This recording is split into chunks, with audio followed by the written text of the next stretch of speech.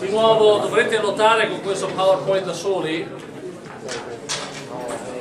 uh, alcune cose le ho parecchie cose le ho dette, però è meglio di ripetere di nuovo. Questo è il discorso che vi ho fatto prima e l'ho aggiunto adesso su due piedi. Quindi quanta carica oltrepassa, oltrepassa è un'unica parola, no? O su due? Con due P però, o due parole. Oltrepassa con due parole o una? Con due P o una?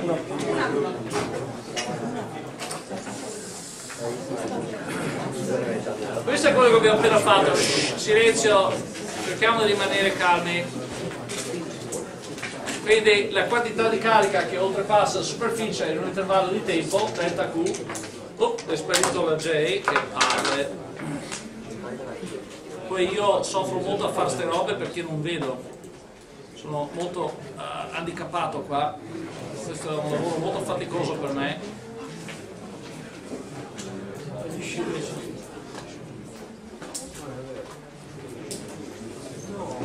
Ok. Quando, sono, quando è ortogonale è ovvio che manca il coseno di teta questo è banale d'accordo? quindi la J la, la chiamate la densità uh, di corrente elettrica ok? Um, La S cos'è? È la densità di corrente di energia. Uno potrebbe, potrebbe come ho scritto là in fondo, l'analogia è quella. D'accordo? S vi dà, la, vi dà la direzione e il modulo di S vi dice anche qual è la densità di questa specie di corrente di, di energia. Quindi la parola intensità, questa parola l'ho usata poco fa ma senza soffermarmi su questa trasparenza L'intensità cos'è? Allora, l'energia elettromagnetica che sbuca per unità di tempo e per unità di area si chiama intensità e si misura in joule al secondo per, me, per unità di area, quindi metro quadro, watt al metro quadro. Quindi nel sistema internazionale l'intensità si misura in watt al metro quadro, d'accordo? L'intensità, questa, questa roba che abbiamo appena calcolato, è questa cosa qui, d'accordo? Questa è chiamata in realtà l'intensità istantanea, come vedete c'è la dipendenza del tempo qua. Poi si parla dell'intensità mediata sia nel tempo che nello spazio, quindi si fa una media di questa cosa qua. Quindi voglio aggiungere la parentesi T qui, per ricordare che è l'intensità, chiamiamola istantanea. Quindi metto intensità istanta, istantanea.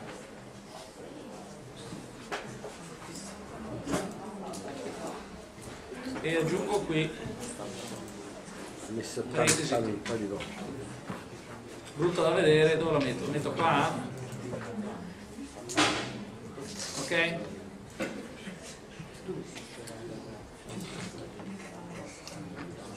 Is, istant c'è un non vedo. Istantaneo così ok? È giusto? Il correttore automatico dice che è giusto. Salvo se no. Presentazione presentazione. Ok quando fate la media di questa roba viene fuori un fattore un mezzo. Perché in blu c'è il coseno e in rosso c'è il coseno quadro.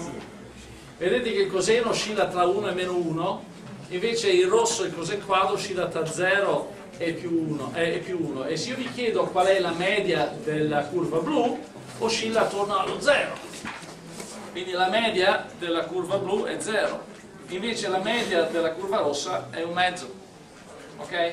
quindi la media del coseno quadro vi dà un fattore un mezzo. Eccolo qua c'è l'un mezzo. Quindi questo qua diventa un mezzo. Quindi la C è qui, la epsilon 0 è qui, la E0 è qui e quindi questo vi dà l'un mezzo.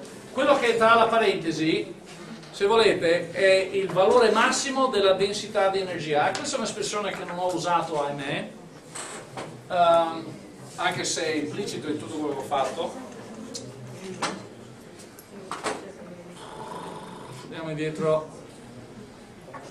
Sono parole queste, eh? Questa roba qua, silenzio, l'un mezzo epsilon 0 e quadro si chiama la densità di energia del campo elettrico per sapere quanta energia c'è in un condensatore dovete sapere la densità di energia, poi dovete moltiplicarlo per il volume. Quindi questo vi dà quanta energia al metro cubo, quando moltiplicato per un metro cubo vi dà l'energia del campo elettrico. Questa roba qua, un mezzo uh, 1 su 1 0 b quadro, è la densità di energia del campo magnetico. D'accordo? Densità di energia.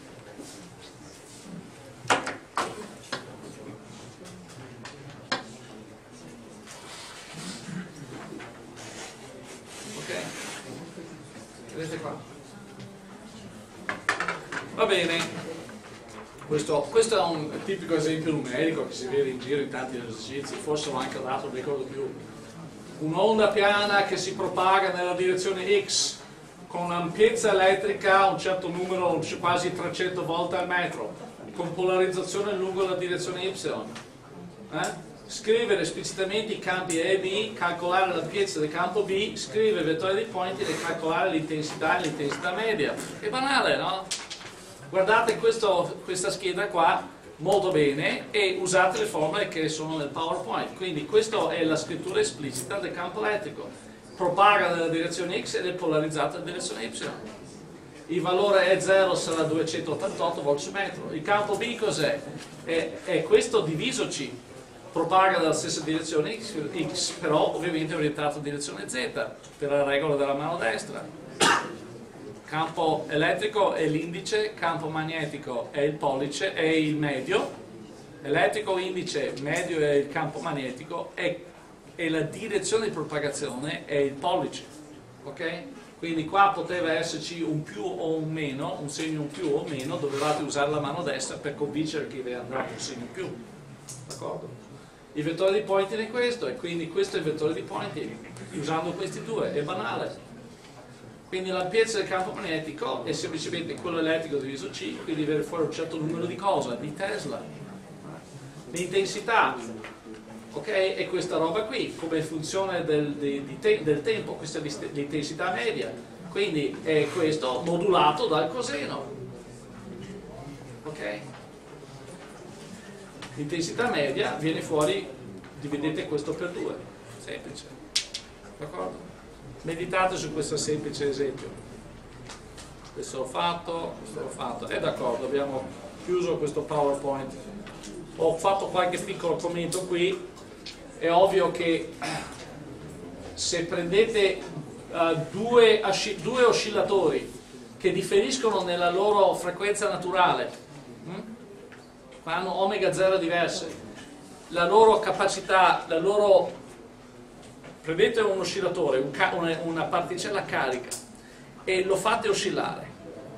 Perderà energia, increspatura del campo elettrico, d'accordo? Allora immaginate due oscillatori, cioè dovete immaginare questo disegno qua con uh, due, uh, due oscillatori che hanno un omega 0 diverso, d'accordo? Qual è quello che perde più energia? per unità di tempo. Due oscillatori, due cariche elettriche, però che sono attaccate a molle con costante elastica diverse e a, a oggetti di massa diverse, perderanno joule per unità di tempo, a, perderanno energia a un ratio diverso. Perché? Perché il ratio con cui perde energia dipende dall'omega alla quarta. Quindi due oscillatori che hanno omega diverse perderanno energia a un ratio diverso. Questo è il messaggio. D'accordo? Questo è il messaggio. Non, non meditate su questa, meditate su questo disegno. Il tasso con cui perde energia dipende dalla omega 0 di questo oscillatore. Cos'è l'omega 0? È l'ampiezza la, la, naturale di oscillazione. Cioè se questa particella non avesse carica, se fosse neutra, oscillerebbe avanti e indietro con una pulsazione omega 0, quindi con un periodo 2π diviso omega 0 d'accordo? Con diversi periodi Quindi il tempo tra questo picco e questo dipende dalla costante elastica, questo l'abbiamo capito. Dipende non dall'elastica, dipende da K diviso M. Okay? Il periodo qua, quello pseudo periodo, dipende da tante cose, in particolare dalla, dalla rigidità della molla e dall'inerzia del blocco. Se adesso avete due molle e due blocchi e hanno la stessa carica, entrambe perderanno energia. Dalla stessa carica magari li fate partire dalla stessa ampiezza di oscillazione, però hanno pulsazioni diverse, hanno frequenze naturali di oscillazione diverse. Perderanno energia a un ratio diverso. Questo è il senso. Attenzione, questo segno meno è in valore assoluto, eh? questo è un valore, questo è un oggetto negativo, quindi sto dicendo il valore assoluto del rato di della, perdita di energia della particella 2, quello che ha la pulsazione più grande, è maggiore di quello dell'altro. Ok? Su questa slide vorrei che voi rispondeste a questa domanda perché leggete quella frase la carica 2 risente solo del campo elettrico creato dalla 1 perché? guardate il disegno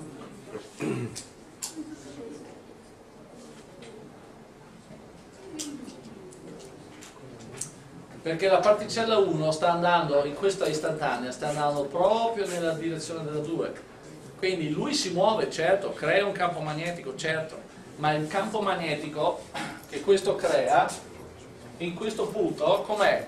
avete pensato alla legge di Biosavard questa carica che si muove è una corrente, non vi pare?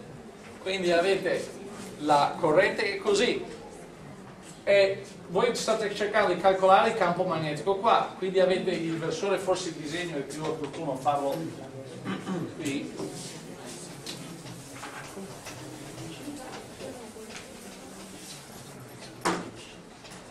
Anzi, faccio questa domanda, l'ho già fatto, se questo è un filo, shh, e poi che so, il filo fa una cosa del genere, e io vi chiedevo il campo magnetico di questo punto, e poi vi chiedo, questo elemento di corrente qua, contribuisce?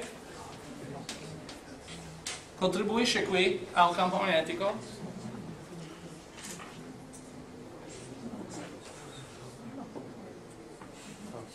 Sì, no, dai, l'abbiamo fatto questo. Non contribuisce. Perché non contribuisce?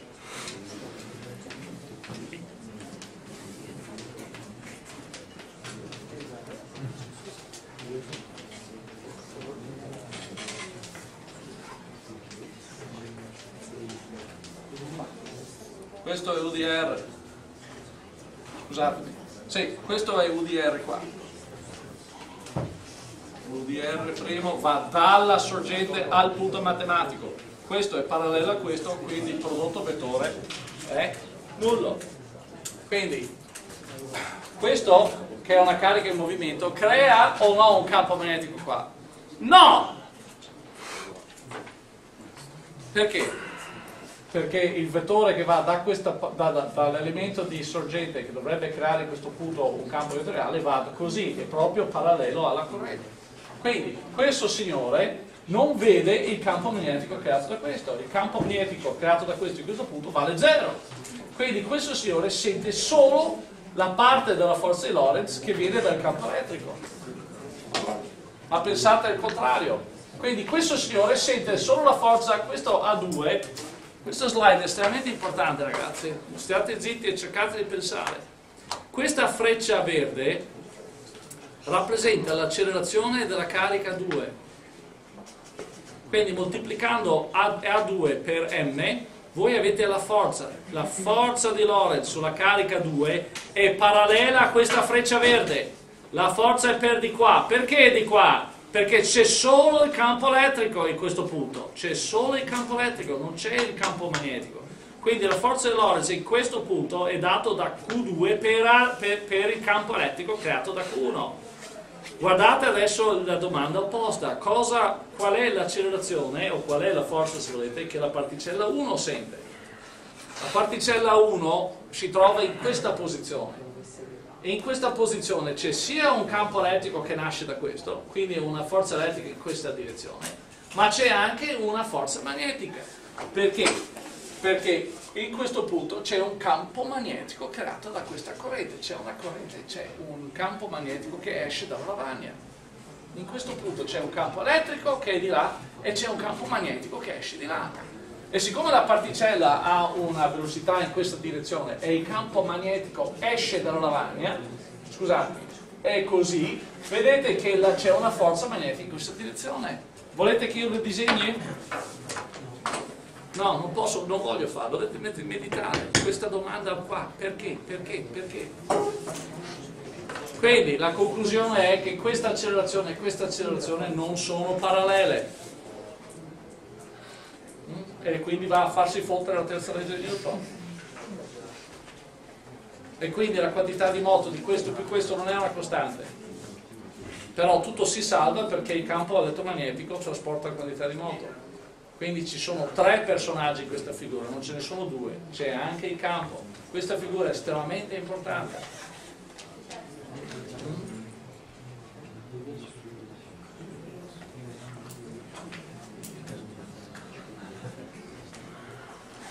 Fa messo qualche commento in più.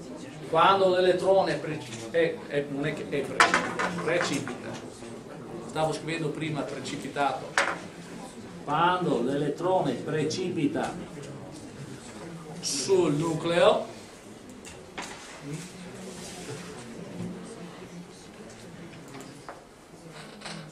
l'energia meccanica va verso meno infinito. Quindi vedete che il valore, il valore uh, ho forse scambiato gli estremi? Sì, sono scambiati qua questo dovrebbe essere uh, meno 13 e sono scambiati qua perché il valore finale è meno infinito. Qua sì è corretto, qua è sbagliato.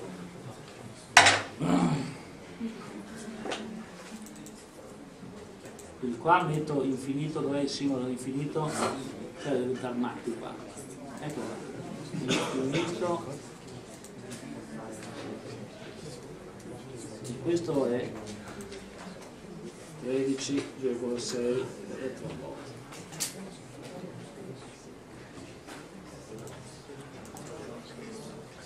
Ok? E ovviamente qua non si legge più niente. Questo va su, no?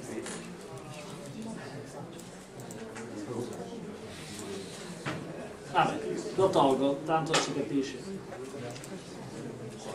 C'è anche scritto là. Va bene?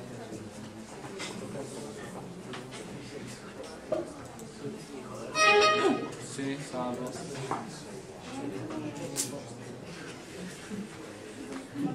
Ok, questa è un'altra tipica domanda. Sono due cariche uguali, Shh. è un uh, disegno opposto. Guardate il piano di simmetria, cioè il luogo di punti che hanno la stessa distanza due cariche. Ok? Adesso spengo questo per un attimo e poi lo riaccendo dopo. Notate come è fatto. C'è un piano qui a 0 volt, un piano a 0 volt, un piano a 0 volt.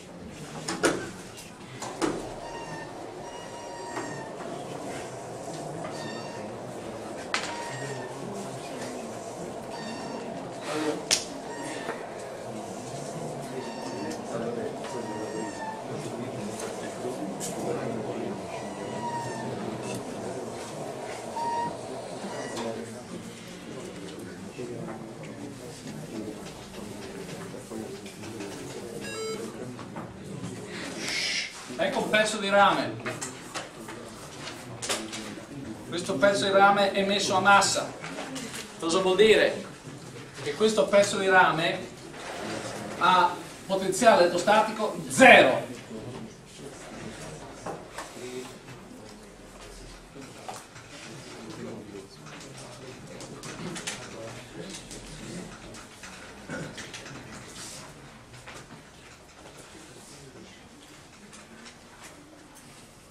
Qua a una certa distanza D metto una carica positiva Q cosa succede?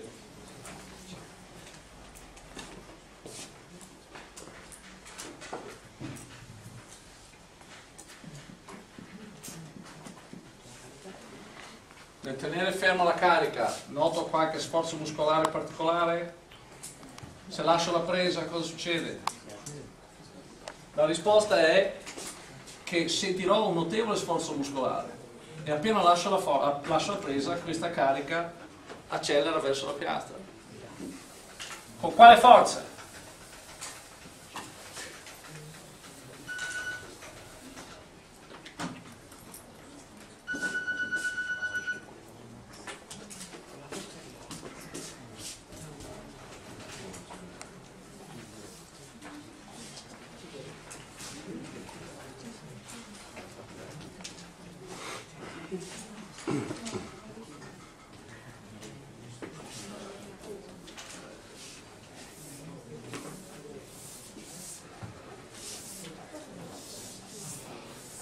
Questi due esercizi sono identici.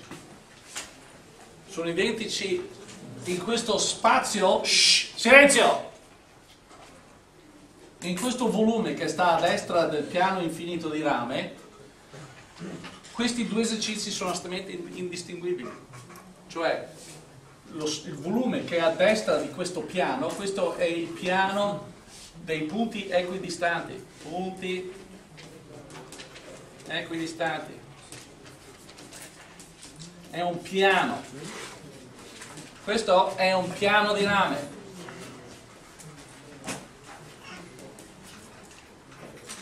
CU, rame. Shh. Silenzio! Fate anche sputacchiare.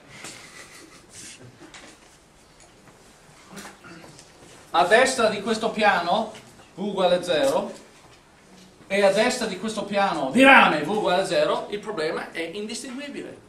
E quindi quello che è la risposta qua è la risposta qua. Quindi qual è la forza che questa carica sente trovandosi di fronte a un piano di rame messo a 0 volt? La forza, questo sente una forza, e la forza è uguale a 1 su 4 più 3 epsilon 0 Q quadro. Sarà una forza attrattiva, quindi c'è un segno meno se volete perché verso di là, attrattiva, diviso, uh, se questa è la distanza dalla carica dal piano, la chiamiamo che so D, allora questo è 2D al quadrato, perché questa è la forza di Coulomb che c'è qui. Questo segno meno vuol dire che è attrattivo.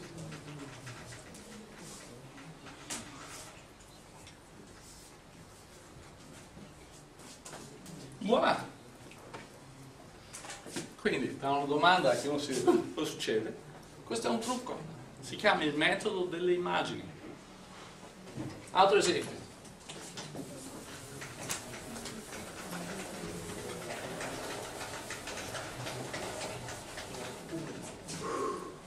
Questo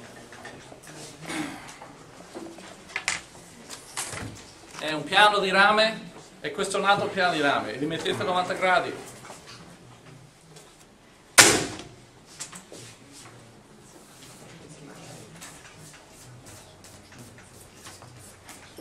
Una carica qua.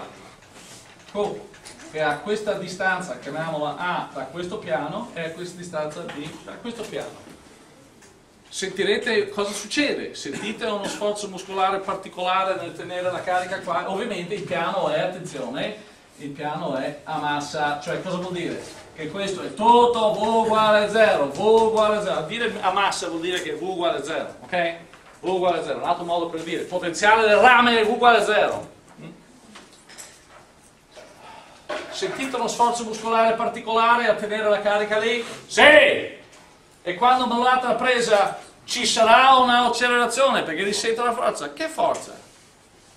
Allora, questo è equivalente a questo.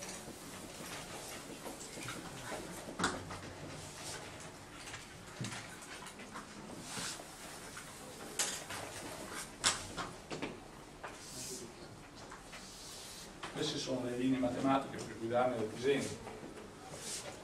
Tanto devo prendere tutte e due le misure, quindi questo è un quaderno, un quaderno, questo è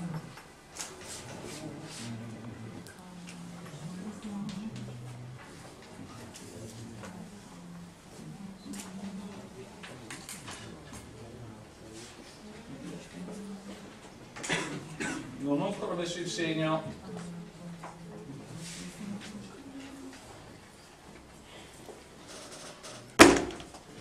Dove queste linee matematiche sono a V uguale a 0 V uguale a 0 quindi quello che succede in questo quadrante è equivalente a quello che succede qua. Certo qua c'è rame ma non sto dicendo quello. In questo quadrante è equivalente a, quello, a questo problema in questo quadrante quale cariche devo mettere qua per dare la risposta giusta, cioè devo mettere delle cariche qui in modo che questa linea e quest questo piano e questo piano siano a v uguale a 0. Come devo mettere le cariche? Usate la testa. QQQ o meno Q meno Q meno Q? C'hanno segno questi? O è Q meno QQ o è meno QQ Pensate. Questo è meno Q. Questo è meno Q. E questo è più Q. Perché così questo è un piano potenziale uguale a 0 per questi due e questo è un piano di, di V uguale a 0 per questi due. O per questi due. E quindi qual è la forza che la nostra carica sente? Come no? Certo che sente la forza, perché sente una forza di repulsione dovuta a questo, ci sarà una forza di repulsione, attrazione voglio dire, ci sarà una forza di attrazione, questa è positiva, questa è negativa, c'è una forza di attrazione con questa, però questa qua avrà un modo, la forza di attrazione che nasce, la forza di attrazione che questo sente, che nasce da questa carica, ha un modo diverso, perché le distanze non sono uguali, no? Questa l'ho chiamata la distanza A, no? Questa è la distanza, no, ho chiamato questa la B e questa la A, ok? Questa è la B e questa la A. Vedete? Quindi questa distanza qua è 2B, mentre questa distanza è 2A. Quindi le distanze sono diverse, i moduli sono diversi. Quindi avete una forza di attrazione per di qua, una forza di attrazione per di qua che è un modo diverso e avete una forza di repulsione dovuta a questo che però è la più distante. Quindi la forza di repulsione è in questa direzione e avrà un modulo corrispondentemente piccolo in base alle diverse distanze. Quindi dovete usare eh, la, la somma vettoriale delle forze di Coulomb concettualmente non è difficile la difficoltà è semplicemente un po' di trigonometria no? cioè se questa è A e questa è B, questa distanza qua è la radice quadrata di A, quadro, la radice quadrata di A quadro più B quadro, quindi questo è due volte quello, eccetera, eccetera, eccetera. Mm? Pensateci. Quindi un problema apparentemente difficile, riconosco che è, con questo trucco riesco a risolverlo, mm, questo si chiama il metodo delle immagini. Questa carica qua, che è dall'altra parte, questa carica qua è una carica immagine di questo.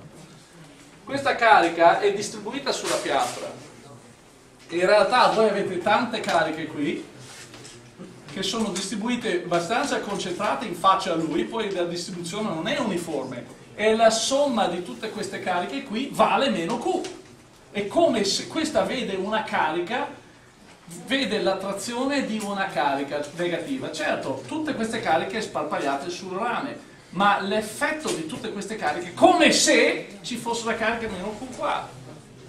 Analogamente questa carica positiva induce delle cariche negative qua, avranno certamente una distribuzione, una distribuzione non uniforme e, e, e, qua ci sarà, proprio perché questo è a zero e ho un accumulo di cariche negative qua e un accumulo di negative da questo spigolo qua giù è diventato in realtà uno spigolo positivo poi ci sarà una distribuzione, la distribuzione è complicata, ma l'effetto complessivo di questa carica qua, di questa carica qua e questa carica qua è come se avessi una carica negativa a un'opportuna distanza, la carica positiva a un'opportuna distanza, lo spigolo è qua, no?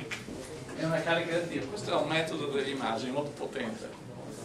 D'accordo? e volevo farvi vedere un'altra cosa molto rapidamente.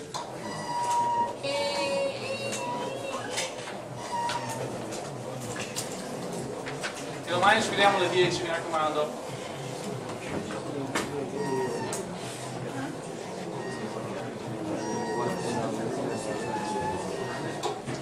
Allora supponete qualcuno vi dice ecco una sfera ecco una sfera di rame, quindi in elettrostatica sfere di rame sono equipotenziali e fate in modo che questa sfera qua sia a massa, cioè volete che questo sia V uguale a 0 e mettete una carica positiva qua.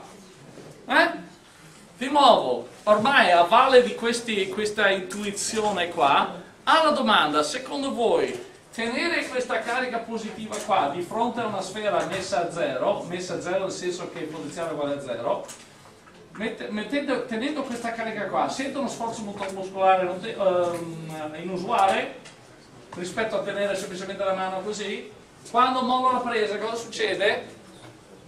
Questa carica positiva induce delle cariche negative su questa sfera e ci sarà una forza di attrazione. Allora come fa la gente a calcolarla? All'epoca dei vecchi corsi di laurea quelli che duravano per solo la parte dell'elettromagnetismo 100 ore e la parte meccanica 100 ore, si faceva questo calcolo.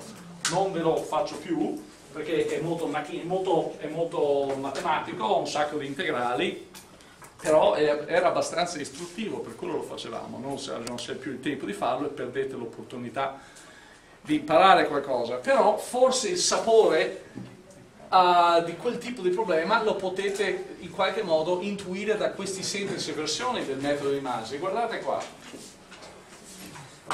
Allora, questo è il um, clear all track. Ok.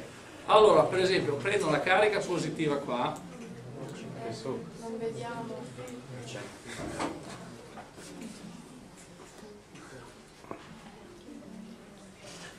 Dai, flusso di energia, andate da là, là, coraggio.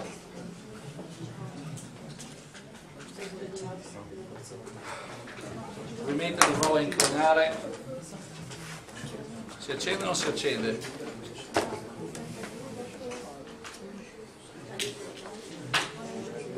Sta scaldando, si vede un po' di fotoni uscire da là.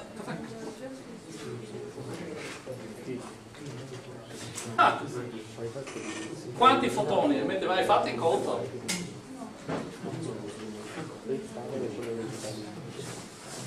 Ah.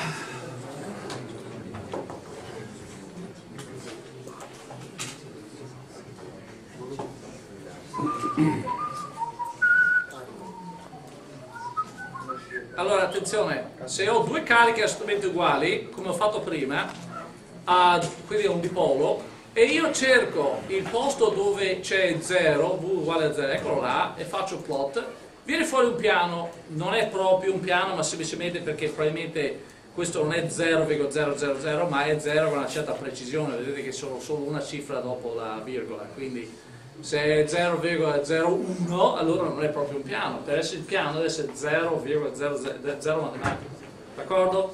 Ecco il piano. Uh, se adesso eh, ovviamente aggiungo un'altra carica qua, lo sovrappongo un po' così che si vede che sono due, questo ovviamente sparisce e vi chiedo dov'è che è 0 di nuovo? Andiamo a cercare.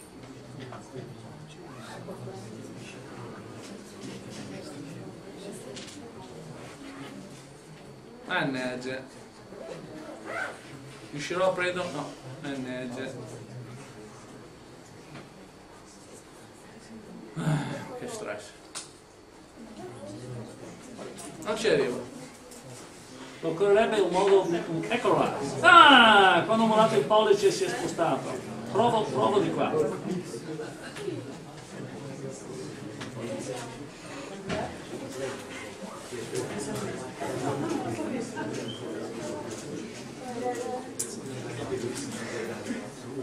No, peccato Adesso dico al programma di disegnare i punti che hanno V uguale a 0. Una sfera. E quindi nel conto che si faceva una volta si, si sosteneva, qua avevo messo due cariche questo era uno. E vedete il centro della sfera è qua, non è sulla carica blu, è qua. Quindi il problema sta asserendo, la soluzione del problema di qual è la forza che questo sente in faccia a una sfera messa a 0 volt equivale alla carica messa vicino alla carica che ha valore diverso, più piccolo, questo era 2Q, questo è meno Q. ok? E questa meno Q è messo in un posto speciale, questo è il centro, ed è messo a una distanza opportuna, in modo che questo punto qui No, non è quella. Questo è Dove disegno? Qua.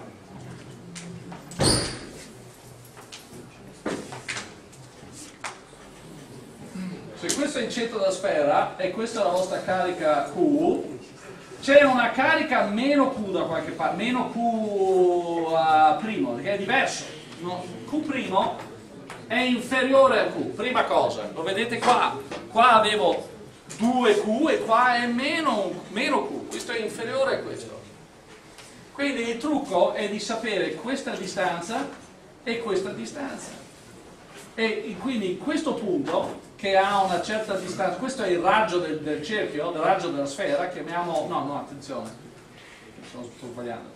Questo è il centro del cerchio, d'accordo, questo è il centro del cerchio, questo è la carica immagine, questo si chiama la carica immagine cioè il comportamento di questo, questo induce sulla sfera di rame delle cariche negative. E il comportamento di questo è come se si trovasse di fronte a una carica meno Q, ma la carica meno Q non è al centro del cerchio, è spostato, come vedete dal disegno.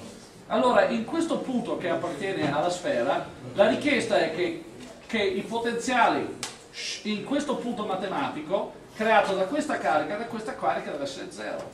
Cioè stiamo dicendo che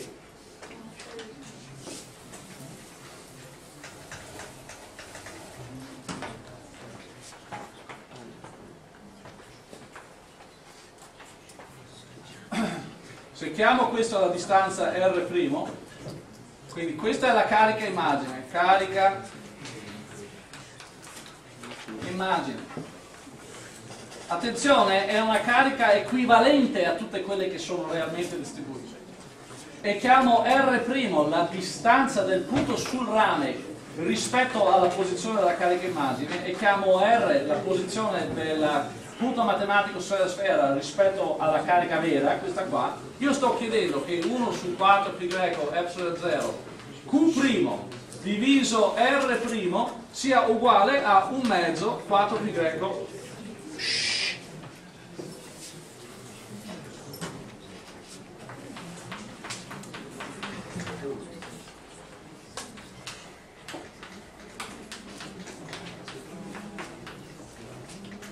chiedendo questo.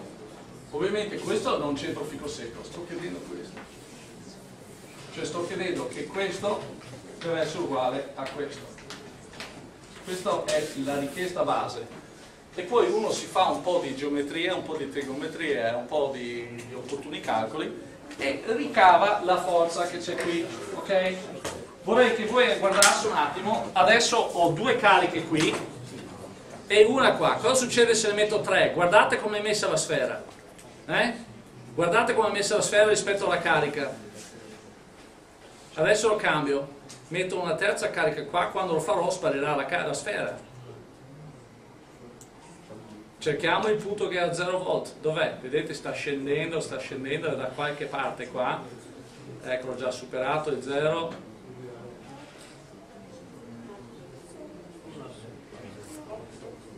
Mannaggia.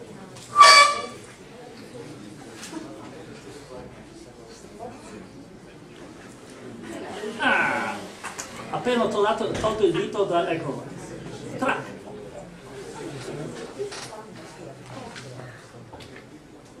Eh? Vedete come questa carica si sta avvicinando al centro, però la sfera è anche più piccola. Qua ho tre cariche, qua ne ho una. Quindi questo era il messaggio che ho cercato di darvi l'altro giorno quando abbiamo cominciato a parlare della capacità e dell'induzione elettrostatica completa. Se questa è la vostra sfera messa a massa e qua c'è una carica, non tutte le linee vanno a finire qua. Alcune vanno a finire qua, ovviamente vanno localmente a 90 gradi. Perché devono andare a 90 gradi? Perché il potenziale deve essere, la sfera deve essere potenziale alcune linee magari fanno così, ma altre proprio non ci vanno per niente. Quindi se ho qua una carica 3 e questa è una, e qua disegno 4 linee, quindi 4 per 3 fa 12, da qua escono 12 linee, 12 linee, ma solo 4 di quelle vanno a finire sulla sfera. Solo 4 di queste linee che escono qua vanno a finire sulla sfera e quando ci vanno, ci vanno così. Devono essere uh, localmente a 90 gradi rispetto a... Deve, devono essere normali alla superficie. Questa parola, la parola 90 gradi non è molto felice. Le linee di campo devono essere normali alla superficie di quei 12 linee di campo che escono qua, i 4 che vanno a finire, che stanno cercando di andare alla carica immagine e vanno a finire sul rame, ci vanno normalmente al rame, ma le altre 8 linee scappano via, vanno a finire altrove. D'accordo? Meditate su questo.